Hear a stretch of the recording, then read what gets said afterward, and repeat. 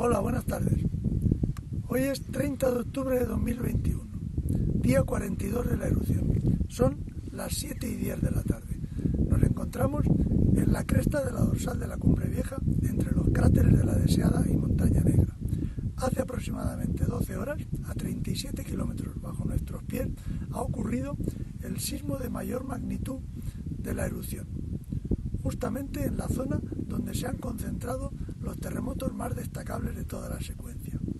Es importante resaltar que esta zona donde se concentra la actividad está lejos de cualquier población, ya que se encuentra a 7 kilómetros del pueblo de Fuencaliente y a otros 7 del pueblo de Mazo. Eso es.